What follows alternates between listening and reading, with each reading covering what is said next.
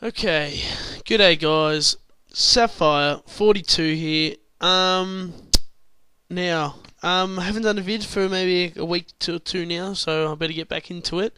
Um, this video is going to be about a man called Zeljko Kalac. Um, he's an Australian or former Socceroo. Um, and I'm really calling you, calling him to retire. Um, do us all a favour quit um, because you're only embarrassing yourself.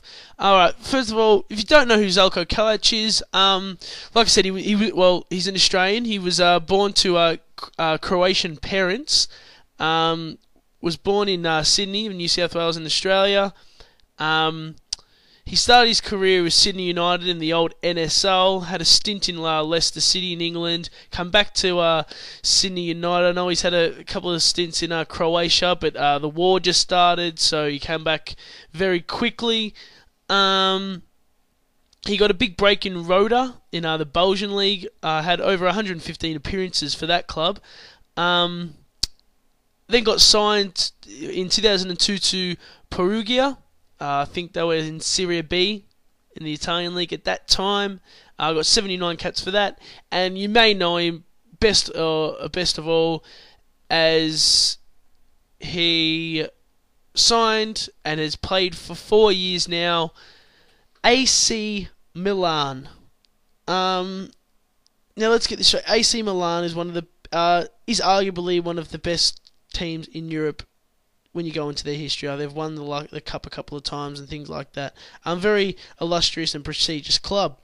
Um, but why Zeljko Kalac played for them, I have no idea. He's not very good at all. I think it was all all he had to do, all all that he he had to his benefit was his size. I think. Um, I mean, yeah, he was okay. He was a, he was a decent keeper. Um, had good reflexes like that, but it really came down to his size, in my opinion. He was not very good at all.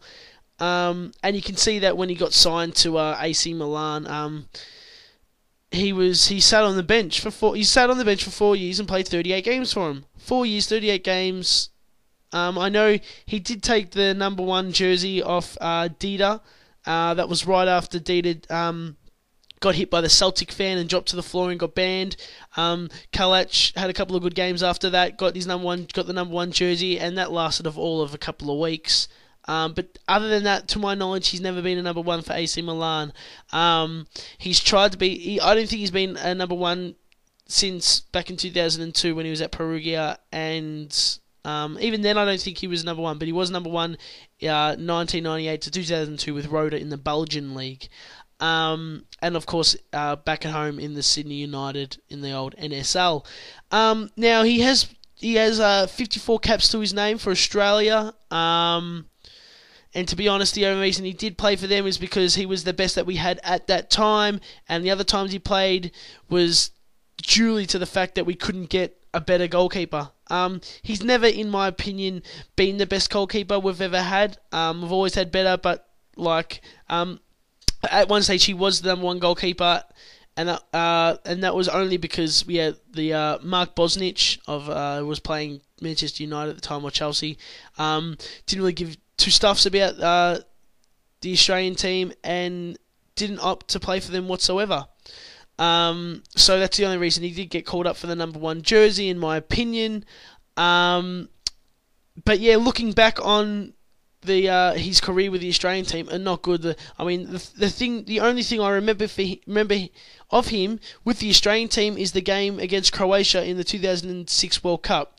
Um, okay, maybe, just maybe, you couldn't, um, uh, you can't blame him for the first goal. It was a free kick uh, by Kovac, I think. Um, it was a good, very good free kick, but you know he's a tall bloke. He probably should have got to it. Um, so we can't blame him entirely for that. Um, but basically he nearly lost us the game. Um, we only come out with a draw. Probably should have come out with the win, um, but we didn't. We come out with a draw. Um, it was a it was a shot on goal. Uh, he dropped to the ground to pick it up, and it just popped right over his body, and that was it. We were two one down. Luckily, good old Aussie Jewel Harry Kewell come on, come up and uh, scored it. Scored the goal, got us the draw, got us through to the round of 16. Um, but yeah, um, he is an absolute joke, in my opinion. Um, I know when he was at Milan, people have asked him, Are you going to retire here? He says, Yes, I'm going to retire here because um, anywhere I go will just be a step down. I'm at the best club in the world. Now, these are his words. I'm in the best club at the world, uh, in the world. Um, anywhere I go will just be a step down. Hey, Zeljko, how about you go to a club and be the number one keeper, not sit on the bench for four years? It's just it's beyond me. It's an absolute joke. He and up until now he um there was four keepers at, for the for AC Milan. In the pecking order, Zeljko was at number four. He's been kicked out by the club. He says that he left on mutual uh, grounds because the schedule was just too tough for him because he wanted to spend time with his family.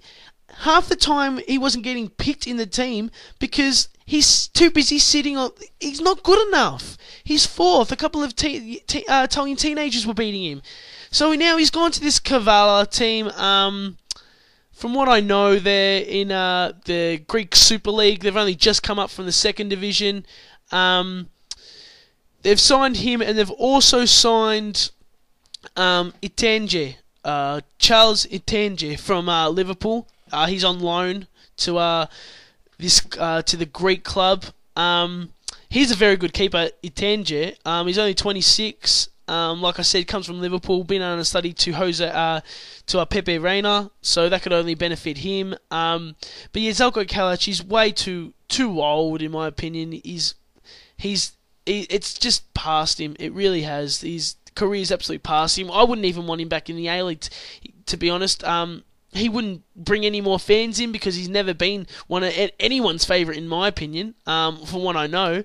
So yeah like I said I'm calling you I'm calling him out to say look uh, Zeljko um, I think you should retire mate uh, you're embarrassing yourself. You said that you're at the biggest club in the world, and anywhere you'd go would be a step down. So you've stepped down to uh, one of the uh, Greek Super League teams. Um, they've only just barely got promoted to the league. Um, you're going to lose out to uh, Charles Itandje anyway, and you've also said that if we need help, you'll come you'll come back out of retirement and help the Socceroos in the 2010 World Cup. Well, buddy, we don't need you help. Need your help because you're not good at all. Um, so yeah, I'm sorry, mate. Please retire. Do us all a favour. Um, we're sick of hearing your crap. And uh, yeah, thanks for your time, guys. Catch.